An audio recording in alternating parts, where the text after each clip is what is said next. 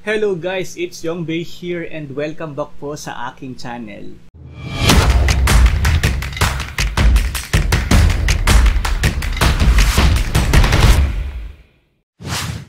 If you're new here, I hope you consider subscribing by clicking that subscribe button down there at yung pong maliit na bell sa tabi po nito para kayo ay palagi notified at updated sa ting ako ay may bagong upload na videos sa mga darating na araw. By the way guys, I do music covers, vlogs, and reaction videos. This time tayo po ay gagawa ng reaction sa isang video that is actually a request from you guys. It is going to be my first reaction for Lire Posposa. Uh, ang pagkakaalam ko po, she is a housemate from the Pinoy Big Brother house. And hindi ko alam na siya pala ay kumakanta. No? I'm really surprised to uh, to know that she's actually singing. And thank you po sa nag-request na gawan ko po ng reaction ng performance ni Lee sa kantang Nosi Balasi at the ang soundtrack ng Bahay Mo album launch. No? So, alam nyo guys, sa mga pumapasok na housemates sa bahay ni Kuya, some of them really has talent no sa singing, sa acting, and sa iba't ibang uh, aspect ng showbiz industry. And I'm really happy to know that Lire Posposa actually sings. At pagkakaalam ko yung Nosi Balasi eh, kenta rin to ni Janine Berdin sa ASAP. Plus, I think the Aces, no, Miss Jonah, Darren, and Miss Lani had their own version of No Si Balasi. Kaya naman, I'm really excited na mapanood si Lire Posposa sa kantang No Si Balasi and a little bit curious kung paano ang take niya. So without further ado guys, samahan niyo po ako as I watch Lire Posposa perform the song No Si Balasi at sabay-sabay po tayong gumawa ng reaction dito. Ikaw ano? Um, congratulations. Um, grabe, um, I hope you, I hope you the best in life. Um, Medyo hindi ko huwag kilala yung guy. um, Actually, hindi po ako masyadong maalam dun sa mga ibang tao sa bahay ni Kuya. No? For some housemates only. Ko ko. I think Lee is a little bit funny as well. Oh. Oh my God! What happened? Parang medyo napahiya naman si Lidon. Oh my God! Sorry, sorry guys for that reaction. Ko?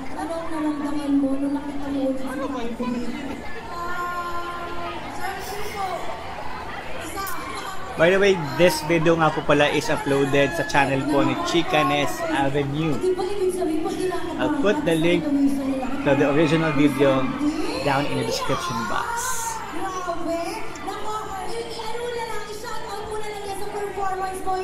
Mo na nararamdaman. Oo nga. Perform para sa mga fans. Ah, hindi na natin ito matatagalin pa. Lee, take it away! Para sa inyo to, para sa inyo to, mag-enjoy tayo lahat. I love you!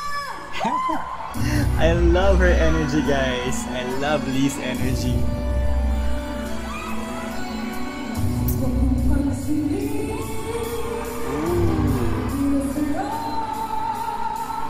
Grabe yung mga tao, hype up na hype up. Yung introduction is parang same ng version ng kinanta ni Janine, guys. Tama ba? Janine Berdin. Anyway, the voice of Lee is a little bit rock type din, no? Pinoy rock. Nice.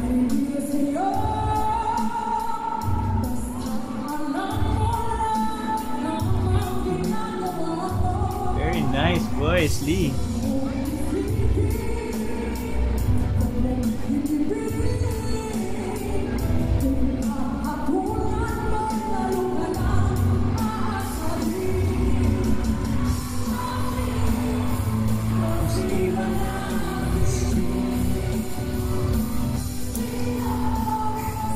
The audience are singing with Lee. That is the magic of being a performer, guys, no?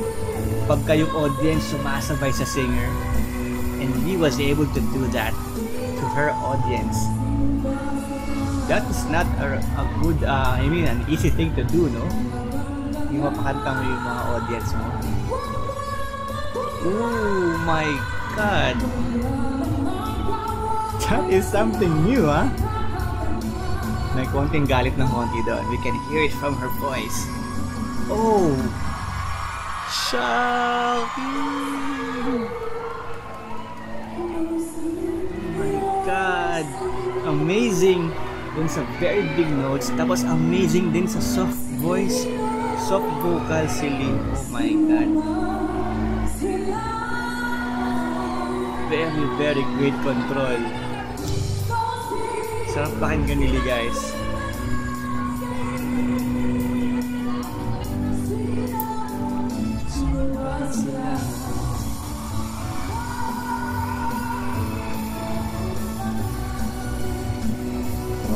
God, I love Lee.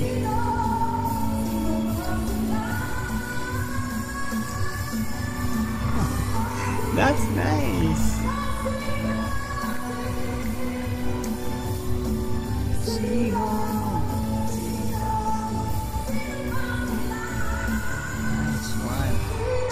And the moves, guys, ha? I love her moves as well. Oh my. Oh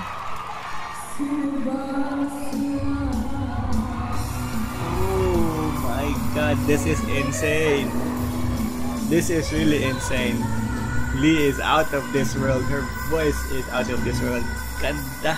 Grabe.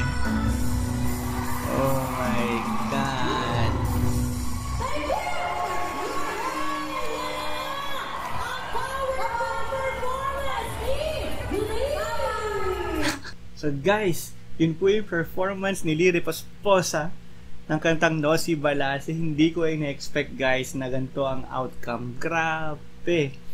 We heard Lee's voice dun sa mga high notes. Very powerful, very big notes, buong buo. But when she sang the soft parts, sobrang namang nakaka-inlove yung boses, no?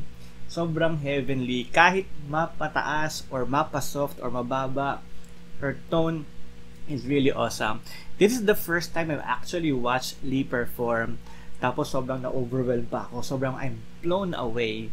I'm blown away by this performance. I love Lee. I love Lee Reposposa. Sobrang happy ako sa uh, performance nito. Thank you for requesting me at napanood ko ang performance ni Lee Reposposa. Sobrang galing niya guys.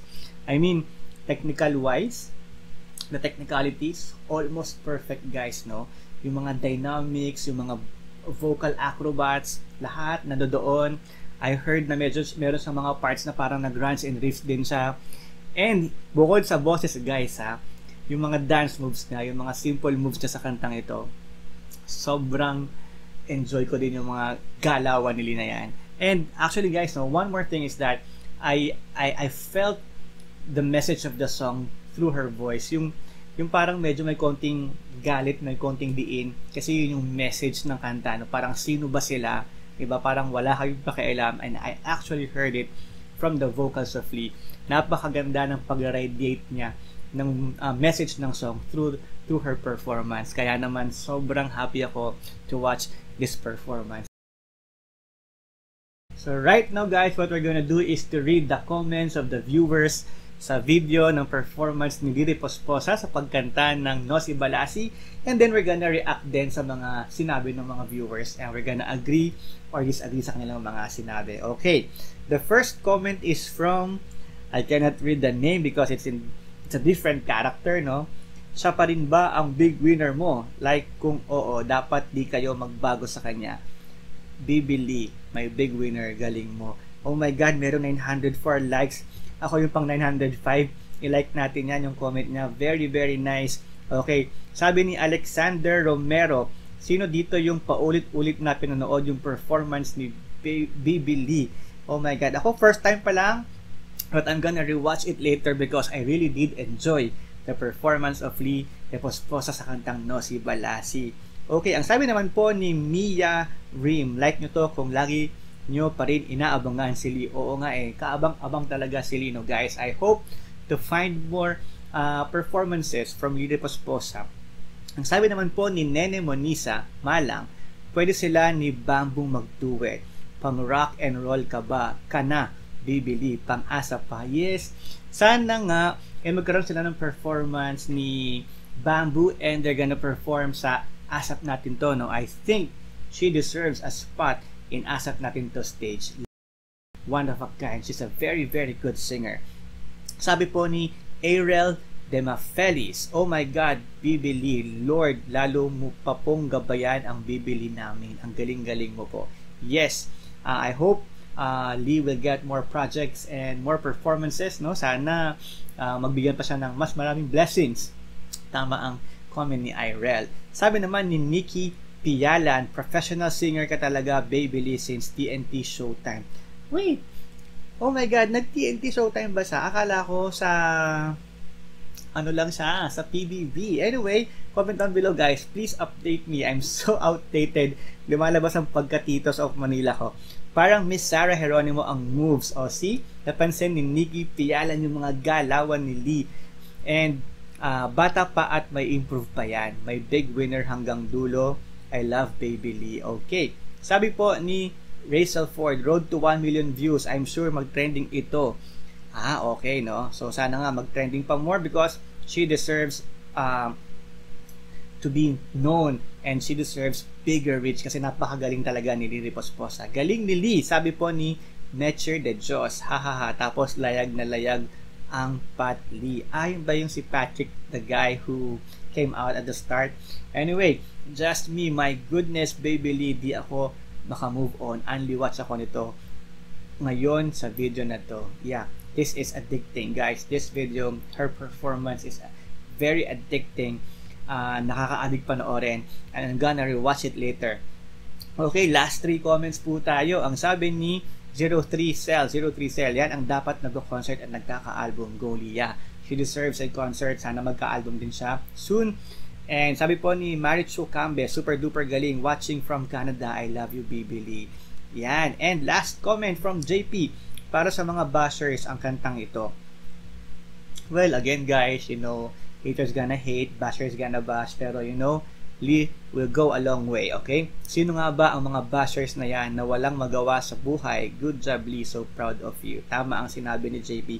Tuloy-tuloy lang. Okay guys, soon ang mga comments ng mga viewers sa video na ito and we agree, I disagree sa kanilang mga sinabi. And kayo po, what can you say about the performance of Lida Posposa sa kanyang pagbirit, sa kanyang pag-hit ng mga high notes, sa kanyang pagkanta ng soft parts ng kantang ito, ang ganda-ganda ng dynamics. I hope you comment down below your reactions and your insights and I would love to read your comments and I always find time na mag-reply po sa inyong mga comments. Uh, salamat po for watching this reaction video. Kung nagustuhan niyo po ang aking reaction, I have to give this a thumbs up. Like this video po at mag-subscribe na rin po kayo sa aking channel. Clicking that subscribe button down there at yung maliit na bell tabi po nito para kayo ipalagi notified at updated sa tuwing ako ay may bagong upload na video sa mga darating na araw. Thank you, thank you, thank you guys for watching this reaction video. I hope to see you on my next reaction. Ako po si Yong Bay hanggang sa muli. Bye for now. Peace on earth and keep on Bay living.